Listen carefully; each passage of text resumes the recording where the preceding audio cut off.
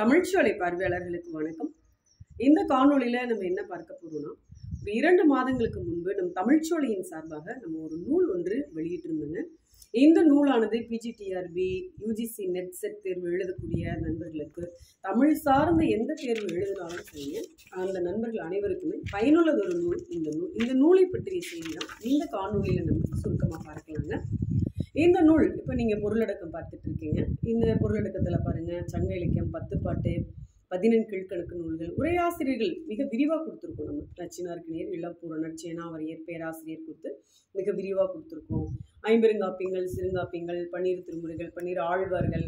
அடுத்த மரபு கவிதைகள். நீங்கள் யூஜிசி நெட் சிலபஸில் பார்த்தோம் அப்படின்னா நிறைய எழுத்தாளர்கள் கொடுத்துருப்பாங்க. மரபு கவிஞர்கள் தொடங்கி இக்கால கவிஞர்கள் வரைக்கும் நம்ம கொடுத்துருப்பாங்க. அந்த மாதிரி மரபு கவிஞர்கள் திரைப்பட பாடலாசிரியர்கள் நாடக ஆசிரியர்கள் புதினாசிரியர்கள் சிறுகதை ஆசிரியர்கள் அடுத்து பத்திரிகைகள் மொழிபெயர்ப்பு ஆசிரியர்கள். மொழிபெயர்ப்பு ஆசிரியர்கள் நிறைய பேர் நம்ம விரிவாக கொடுத்துருக்கோம். சுத்தானந்த பாரதி காஷி ஸ்ரீ தானா குமாரசாமி தானா சேனாபதி தீபா சித்திலிங்கையா சரஸ்வதி ராம்நாத் இந்த மாதிரி ஒரு பெரிய ஒரு பட்டியலே இருக்குங்க.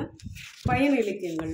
அடுத்து இலக்கண நூல்கள் பற்றிய செய்திகள் நம்ம கொடுத்துருக்கோம். நன்னூல் எழுத்து சொல் புறப்பொருளாக பொருள் இந்த மாதிரி நம்ம நிறைய விஷயங்கள் இந்த நூலில் கொடுத்துருக்கோம். இது பகுதி ஒன்று தாங்க இந்த நூலில் விடுபட்ட செய்திகளை எல்லாம் நம்ம விடுபட்ட செய்திகள். இன்னும் இதில் சொல்லப்படாத மற்ற துறை சார்ந்த செய்திகள் எல்லாமே நம்ம பகுதி இரண்டில் போட போகிறோங்க இப்போ உதாரணத்துக்கு இந்த நூலினுடைய பதினாறாம் பக்கம் நற்றினை எடுத்துக்கோங்க.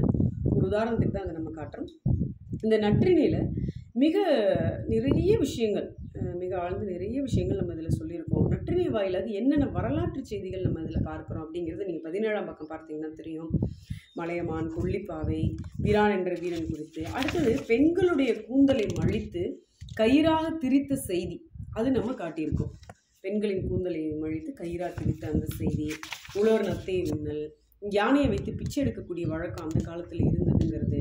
தழும்பன் என்ற வீரன் பசுவின் கன்றினை பாணன் உண்டாங்கிற செய்தி. அந்த காலத்தில் நட்பு எப்படி இருந்தது?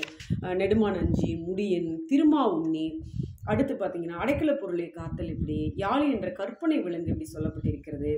கார்த்திகை திருவிளக்கு திருவிழா வானன் சிறுகுடி யானையினுடைய மொழி பாகன் எப்படி பயிற்றுவிக்கிறான்? அந்த குறிப்பு மொழி பண்டமாற்று எப்படி இருந்திருக்கு? மருங்கூர்பட்டினம் பரம்பு மலை எப்படி இருந்திருக்கு? அடுத்தது அக்கால மக்கள் உயிர்களை போற்றிய பண்பு எப்படி இருந்திருக்கிறது? ஆற்காடு ஆற்காடு பற்றிய செய்தி மரப்பட்டையிலிருந்து மருந்து எடுத்திருக்காங்க அப்படிங்கிற அந்த செய்தி வரி வசூல் எப்படி நடந்திருக்குது அப்படிங்கிறது பொறையனுடைய தொண்டி நகர் ஏழு மரக்கால் அந்த அளவு பெயர் அளவு கழுமலப்பூர் கோட்டை வாயில பல்பதித்தல் அந்த மூலன் அந்த என்பவன் அதை பார்த்தீங்கன்னா தைத்திங்கள் நோன்பு கொற்கை முத்து திருமால் பலராமன் பற்றிய செய்திகள் மாம்பே நகரம் மதுரை மாநகரம். அடுத்து இந்த வெண்கடுகு நெய் ஆகியவற்றை பூசி நீராடக்கூடிய வழக்கம் எப்படி இருந்திருக்கு? மழைக்கான அறிகுறிகள் நியமம் என்ற ஊர் பற்றிய செய்தி அடுத்து நிலையாமை பற்றிய செய்தி தூது இடம் பெற்றிருக்கிறது சாய்க்கானம் என்ற ஊர் பற்றி சொல்லியிருக்காங்க அழிசி இவரை பற்றி சொல்லியிருக்காங்க. அடுத்து ஆடைக்கு கஞ்சியூட்டும் வழக்கம் அந்த காலத்தில் இருந்திருக்குங்கிறது. கழைக்குத்தாடிகள் பற்றி சொல்லியிருக்காங்க பூவிற்றல் தொழில் இருந்திருக்கு. பள்ளி ஒழித்து அந்த சகுனம் பார்க்கக்கூடிய அந்த அந்த ஒரு நம்பிக்கை இருந்திருக்கு. யானையினுடைய தந்தங்களை எப்படி எடுத்து பயன்படுத்தியிருக்காங்க அப்படிங்கிற செய்தி அரிசிலாறு போன்ற ஆறு பற்றி திருமுடிக்காரி குறுக்கை பறந்தலை போர் இந்த மாதிரி நிறைய விஷயங்கள் இப்போ நான் சொன்னது. இது வந்து ஒரு உதாரணத்துக்கு நம்ம நற்றினிலிருந்து சொல்லியிருக்கோங்க.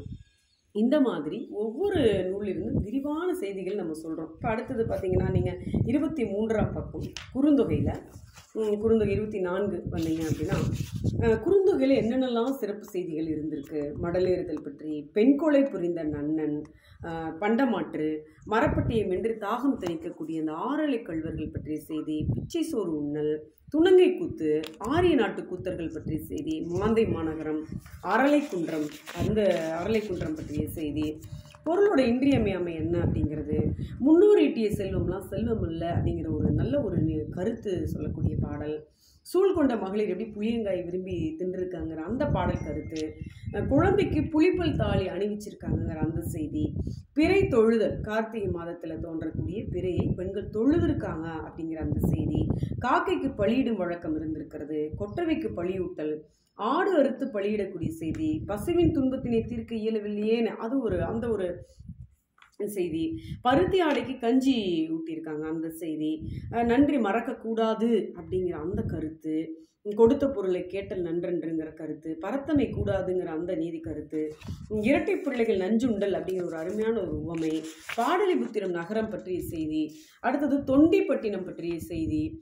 அடுத்து பார்த்திங்கன்னா ஆற்காடு கொல்லிப்பாவை கொல்லிமலை பரம்புமலை பொதியமலை அதியமான் அஞ்சி மலையமான் திருமுடிக்காரி கண்டீர கோப்புர நள்ளி விச்சிக்கோன் தொண்டைமான்கள் எவ்வி எழினி அகுதை கோசர் வாகை பரந்தலை போர் வடுகர் ஏழு நண்டுகள் சேர்த்த அத்திப்பழம் இந்த மாதிரி இதில் அவ்வளவு செய்திகள் நம்ம கொடுத்துருக்கோங்க.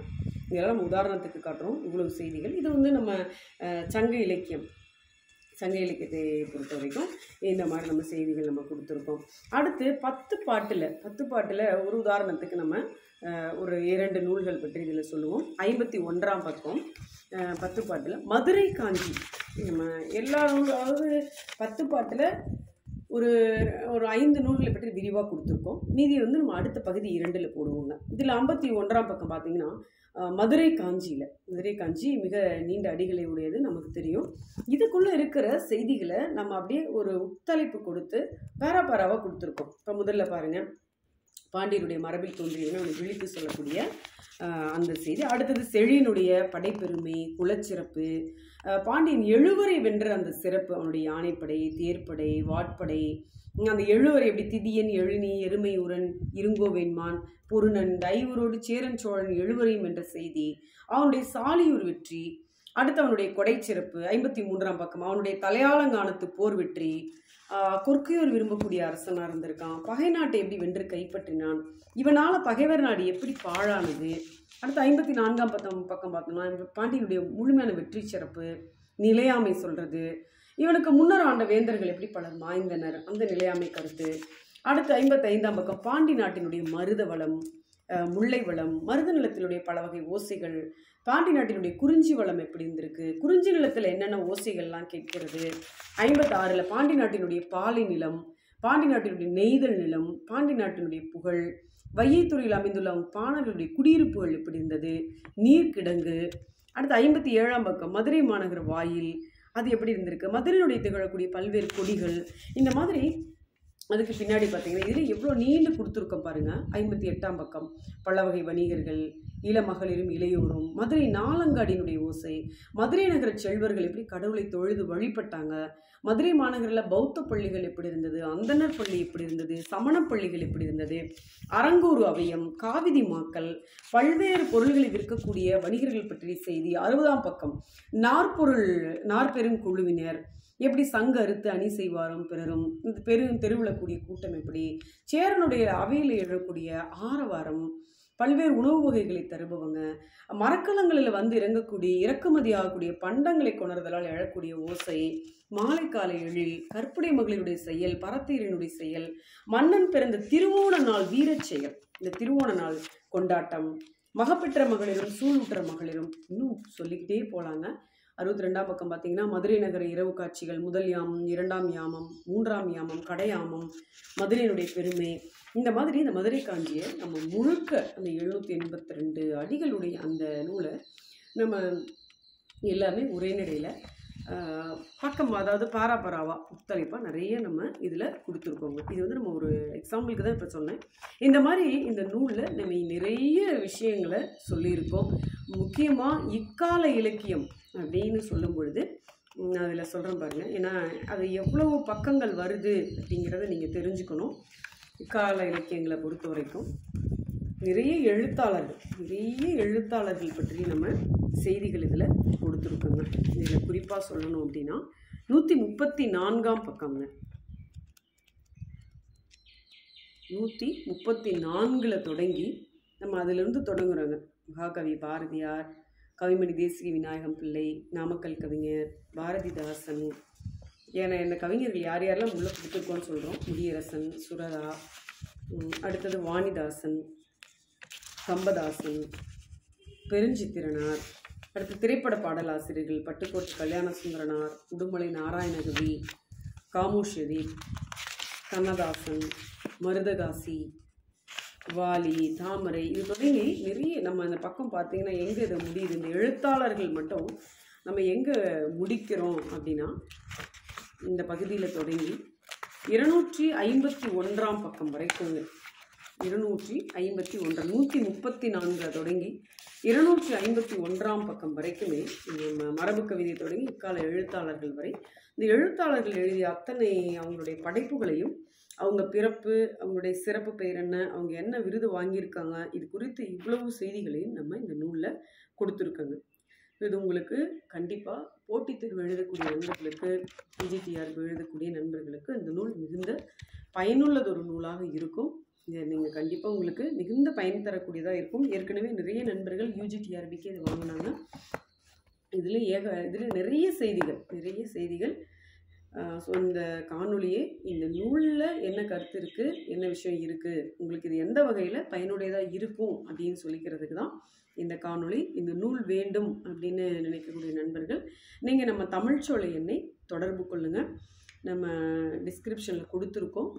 தமிழ்ச்சோலை இதிலே நீங்கள் பார்க்குறீங்க இந்த நூலினுடைய இப்போ நீங்கள் ஸ்க்ரீனில் பார்த்துட்ருக்கீங்க இல்லையா?